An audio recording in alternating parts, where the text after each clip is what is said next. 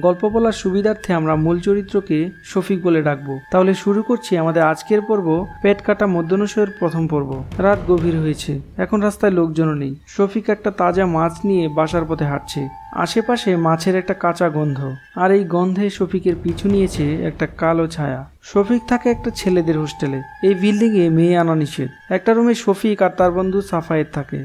সাফায়েত নেশার ঘরেই বেশি থাকে। শফিক মাছটা পাশে রেখে চা বানানোর প্রস্তুতি নিচ্ছে। এর মধ্যে কালো ছায়াটা তার বাসা পর্যন্ত পৌঁছে গেছে। চুলায় চা বসিয়ে পিছন দিকে ফিরে সে স্থির হয়ে দাঁড়িয়ে পড়ল। একটা অদ্ভুত মেয়ে চেয়ারে বসে আছে। হাতে শফিকের গোল্ডেন ফিশের বোতলটা। সাদা কাপড় পরা মেয়েটার অদ্ভুত হাতের নখ।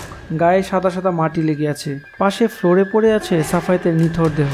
শফিক ভয় পেয়ে পালাতে চেষ্টা করল, কিন্তু তার আগেই মেয়েটা দরজা বন্ধ করে দেয়। শফিক চিৎকার দিয়ে আশেপাশের লোকজনকে ডাকছে, কিন্তু কারও কোনো সারা শব্দ নেই। শফিক খেয়াল করে দেখল মেয়েটার পা দুটো তার শরীর থেকে উল্টো, মুখের দাঁতগুলো ধারালো, অনেকটা কুমিরের দাঁতের মতো।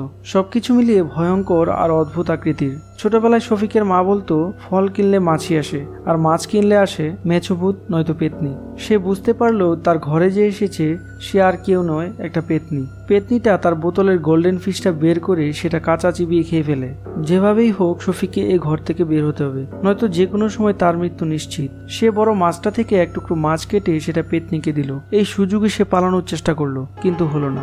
রক্তমাখা কাঁচা মাছ দেখে পেতনি রেগে উঠল। প্রাচীন গ্রাম বাংলার কাহিনী অনুসারে পেতনিরা মানুষের ঘরের ভাজা মাছে আকৃষ্ট হতো অনেকটা দাওয়াতের মতন। শফিক ভাবলো, তাহলে কি পেতনিটা তার ঘরে দাওয়াতের উদ্দেশ্যে এসেছে?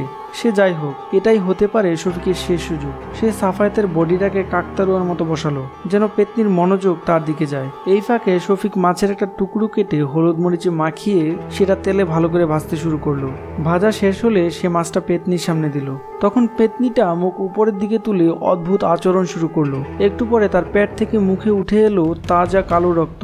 পেতনিটা সেই রক্ত মাছের উপর ফেলতে শুরু করল। আর এই মাছের টুকরোটা সেই কালো রক্তে ফুটতে শুরু করল। এইসব দেখে শফিকের প্রায় বমি হওয়ার উপক্রম। কালো রক্তে মাছ মাখিয়ে পেতনিটা খেতে শুরু করল। এমন সময় সাফায়েতের দেহটা নিচে ঢলে পড়ল।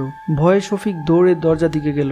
অতীতের এই ঘটে যাওয়া গল্পটা শফিক তার বন্ধুদের বলছিল। কৌতূহলী বন্ধুরা জানতে চাইলো তার পরে কি হয়েছে। শফিক দরজা খুলেছিল ঠিকই, কিন্তু বের হতে পারেনি। যাই হোক, শফিক এইসব কথা বাদ দিতে বলে। রাতের খাবারের সময় হয়েছে। সে সবাইকে খাবার জন্য দাওয়াত দিল।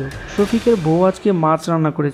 এমন সময় তার এক বন্ধু কাশি দিয়ে উঠল। সেই কাশির সাথে বের হয়ে এলো এক ফোঁটা রক্ত। ঠিক তখনই তার বন্ধুর কাঁধে একটা হাত এসে পড়ল। একটু কৌতূহল ভরা এই দৃশ্য দিয়ে শেষ করা হয়েছে এপিসোড ওয়ানের গল্প। হয়তো শফিকের সাথে কি হয়েছিল, সেটা সবাই আন্দাজ করতে পেরেছে। আজ এই পর্যন্তই। কথা হবে নেক্সট এপিসোড নিয়ে। যদি নতুন দর্শক হয়ে থাকেন, তাহলে চ্যানেলটি সাবস্ক্রাইব করে আমাদের পাশেই থাকুন। কেমন লেগেছে এই পেট কাটা মধ্যাহ্নশয়ের প্রথম পর্ব, তা কমেন্ট করে জানাতে ভুলবেন না।